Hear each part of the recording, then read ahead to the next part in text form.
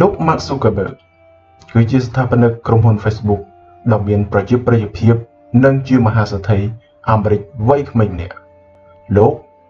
ក៏ជាអ្នកដែលមានទឹកចិត្តសប្បុរសធម៌ផងដែររយៈពេលចុងក្រោយនេះលោក Mark Zuckerberg បានក្លាយទៅជាបុគ្គលម្នាក់នៅក្នុងចំណោមបុគ្គលដែលមានឥទ្ធិពលបំផុតនៅក្នុងពិភពលោកក្លាយទៅជាស្ថាបនិកក្រុមហ៊ុន Facebook កាលពីឆ្នាំ2004លោកបាន ធ្វើឲ្យពិភពលោកកាន់តែរំទូចនិងកាន់តែជិតគ្នាតាមរយៈសង្គមយៈសង្គមយៈនេះលោក Mark Zuckerberg ត្រូវបានគេចាត់ទុកថាជាអ្នកបដិវត្តបច្ចេកវិទ្យាមួយរូបដែលបង្កើតនូវមធ្យោបាយកាន់តែប្រសើរសម្រាប់ការទំនាក់ទំនងរបស់មនុស្សលោក Mark ក៏ជាអ្នកដែលធ្វើឲ្យយើងអាចផ្លាស់ប្ដូរនៅមធ្យោបាយនៅក្នុងការធ្វើទីផ្សារនិងការអភិវឌ្ឍអាជីវកម្មរបស់ខ្លួន ផងដែរគាត់បានបង្ហាញឲ្យយើងឃើញថាប្រលឹងនៃភាពជាសហគ្រិនសុទ្ធតែស្ថិតនៅក្នុងខ្លួនយើងម្នាក់ៗប៉ុន្តែអ្វីដែលសំខាន់បំផុត គឺយើងត្រូវតែស្វែងរកវាឲ្យឃើញនិងអភិវឌ្ឍវាឲ្យស័ក្តិសមទៅនឹងជីវិតរបស់យើងទោះបីជាវ័យក្មេងយ៉ាងណាក៏ដោយអ្នកត្រូវតែដើរទៅតាមក្តីស្រមៃរបស់អ្នកនិងព្យាយាមរកឲ្យឃើញនៅអ្វីដែលអ្នកស្រឡាញ់បំផុត ងប់ងល់នឹងអ្វីដែលខ្លួនបានធ្វើបើអ្នកពិនិត្យមើលឲ្យបានដិតដល់បន្តិចដោយស្វែងយល់អំពីដំណើរជីវិតរបស់សហគ្រិនជោគជ័យបំផុត អ្នកពិតជាអាចមើលឃើញនៅចំណុចរួមមួយ ដែលពួកគាត់មាននោះគឺភាពងប់ងល់នឹងអ្វីដែលខ្លួនកំពុងតែធ្វើมันខុសគ្នាពី Facebook ដែលត្រូវបានគេកើតឡើង អំពីភាពងប់ងល់និងចំណងចំណូលចិត្តរបស់គាត់នោះឡើយដែលកាលនោះ Mark Zuckerberg មានវ័យ20ឆ្នាំ ដែលត្រូវបោះបង់ការសិក្សាដើម្បីធ្វើវាលុះភាពងប់ងល់នេះកើតឡើងហើយការលើកទឹកចិត្តរបស់គាត់ឲ្យបន្តការច្នៃប្រឌិតនិងអភិវឌ្ឍក្រុមហ៊ុនមួយនេះ រហូតទទួលបាននូវភាពជោគជ័យយ៉ាងប្រចះត្រចង់បំផុតអំពីចំណងចំណូលចិត្តនិងភាពងប់ងល់នេះហើយ ដែលលោកប្រធានាធិបតីអាមេរិកគឺលោក Donald Trump បានបញ្ជាក់ផងដែរថា បើគ្មានចំណងទេ អ្នកក៏គ្មានធម៌ពលនោះដែរហើយបើគ្មានធម៌ពលនោះទេ នោះអ្នកនឹងគ្មានអ្វីទាំងអស់យ៉ាងវិញទៀតភាពងងុលនៅក្នុងរឿងរ៉ាវដែលជាក្តីស្រមៃរបស់យើងក៏ត្រូវបានគេចាប់ផ្ដើមអំពីចិត្តផ្ដល់ឲ្យជាមុនសិនទឹកចិត្តនៃការផ្ដល់ឲ្យនេះ គឺមានន័យថាខិតខំងប់ងល់ធ្វើឲ្យបានសម្រេចដើម្បីប្រយោជន៍រួមជាមុនមិនមែនខិតខំប្រឹងប្រែងទាំងយប់ទាំងថ្ងៃដោយងប់ងល់ទៅនឹងភាពលុយទៅនឹងរឿងលុយឬប្រយោជន៍តខ្លួនជាធំនោះទេ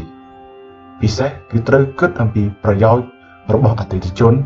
ឬអ្នកប្រើប្រាស់ជាមុនសិនកំណត់គោលដៅខ្ពស់ហើយវែងឆ្ងាយ មនុស្សជោគជ័យណាក៏ដោយក៏និយាយអំពីគោលដៅដែរសម្រាប់លោក Mark Zuckerberg ក៏បានដើរតាមទស្សនៈដ៏សាមញ្ញមួយគឺគិតឲ្យធំ ដោយចាប់ដើមធ្វើពីទូឬជាភាសាអង់គ្លេសថា think big start small ការចាប់ផ្ដើមពីរូបភាពសាមញ្ញពីតូចមួយទៅកាន់ចក្រភពដ៏ធំ លោកម៉ាកតែងតែកំណត់និងគិតអំពីទិសដៅរយៈពេលវែងជានិច្ច ចក្ខុវិស័យនេះ មានចាប់តាំងពីដំបូងមកម្លេះពលគឺតាំងអំពីការចាប់កំណើតរបស់លោករបស់ Facebook លោកធ្លាប់បានបដិសេធនឹងការផ្ដល់ប្រាក់ខែនិងអត្ថប្រយោជន៍យ៉ាងច្រើនសន្ធឹកសន្ធាប់សម្រាប់ការលក់ក្រុមហ៊ុនរបស់លោក ដោយលោកអះអាងយ៉ាងច្បាស់លាស់ថាខ្ញុំមកនេះ គឺដើម្បីកសាងអ្វីសម្រាប់រយៈពេលវែង ក្រៅអំពីការបដិញ្ញាចិត្តលោកក៏ព្យាយាមបង្កើតនៅស្តង់ដារខ្ពស់បំផុតមួយសម្រាប់គ្រូលោកក៏ដូចជាក្រុមការងាររបស់លោកហើយចរិតលក្ខណៈការងារក៏ឆ្លុះបញ្ចាំងបែបនេះដូចគ្នាផងដែរលោកតែងតែព្យាយាមស្វែងរកនៅអ្វីដែលល្អល្អនិងបទពិសោធន៍ថ្មីថ្មីដើម្បីឆ្លើយតបនិងផ្ដល់ជូនអ្នកប្រើប្រាស់ Facebook ធ្វើដំណើរឲ្យបានលឿននិងហ៊ានបំបែកនៅឧបសគ្គពាក្យស្លោកធ្វើដំណើរឲ្យលឿននិងហ៊ានបំបែកឧបសគ្គបានជួយឲ្យក្រុមហ៊ុន Facebook ធ្វើដំណើរទៅមុខយ៉ាងឆាប់រហ័សរហូតបានក្លាយទៅជាបណ្ដាញសង្គមដ៏ធំបំផុតនៅក្នុងលោកលោកតែងតែប្រាជ្ញាចិត្តខ្ពស់បំផុតនៅក្នុងការធ្វើដំណើរទៅមុខឲ្យបានលឿនទោះបីជាត្រូវកំចាត់ចោលនៅរឿងមួយចំនួនក៏ដោយ ក្រុមហ៊ុនដ៏មានប្រជាប្រិយភាពមួយនេះ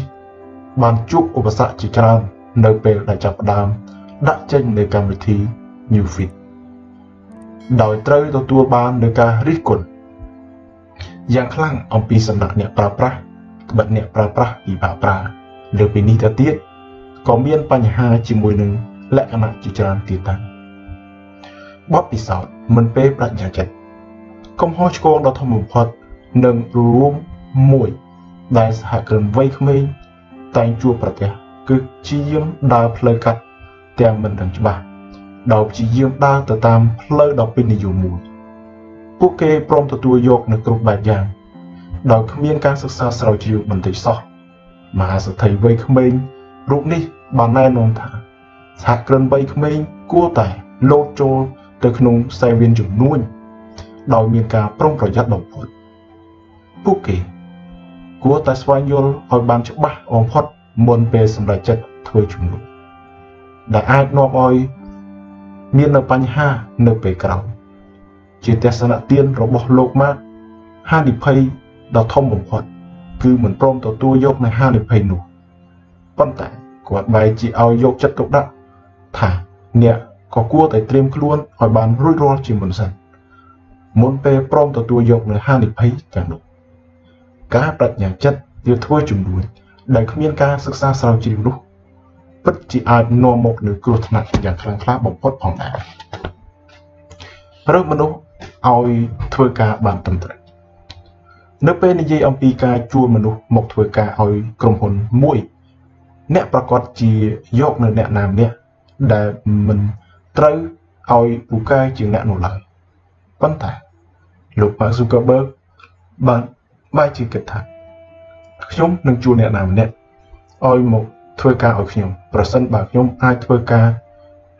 ឲ្យគេបានដែរលោកបានបន្តថាសហគ្រិនវ័យក្មេងៗជាច្រើនមិនចង់ជួលអ្នកពូកែជាងខ្លួនដើម្បីធ្វើការឲ្យគេនោះឡើយ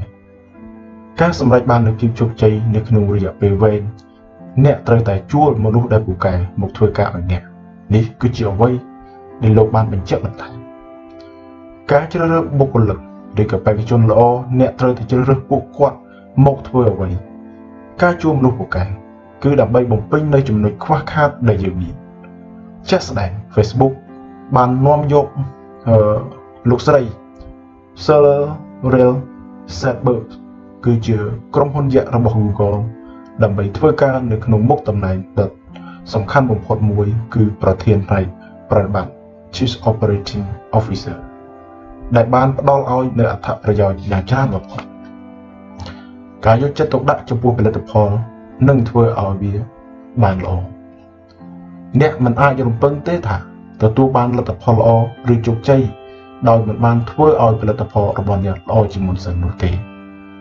មិនខ្វល់ថាអ្នកស្ថិតនៅក្នុងទុននីតិអ្វីនោះឡើយអ្នកចាំបាច់ត្រូវតែយល់ឲ្យបានច្បាស់អំពីផលិតផលឬក៏សេវាកម្មរបស់អ្នក ឲ្យបានច្បាស់ដូចជាបាតដៃរបស់អ្នកអញ្ចឹងដែរ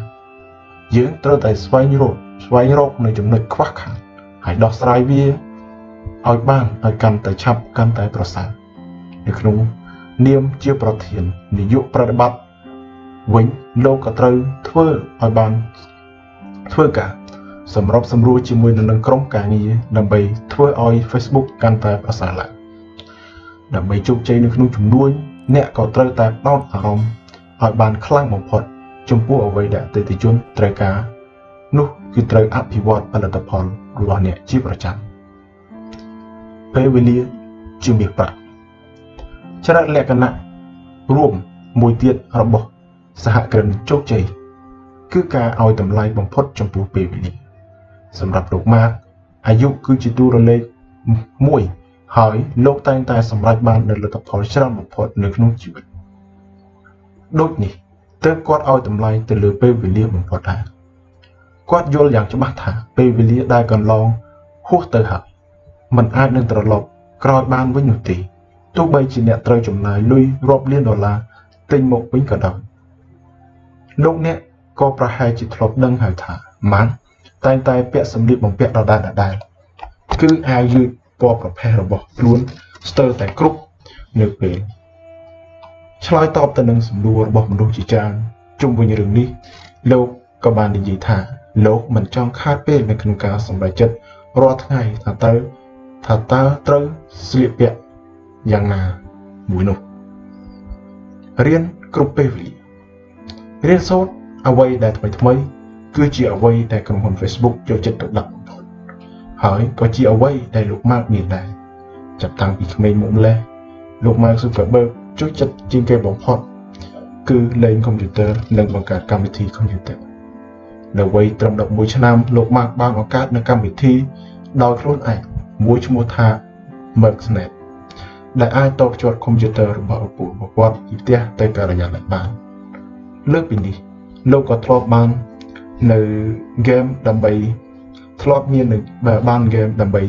រៀនភាសាជាច្រើនផ្សេងទៀតផងដែរការជួយចិត្ត strategy រៀនសូត្រនេះហើយដែលជំរុញឲ្យគាត់អាចបង្កើតនៅកម្មវិធីដ៏ធំបំផុតនៅក្នុងโลกនេះគឺ Facebook បាទសូមអរគុណ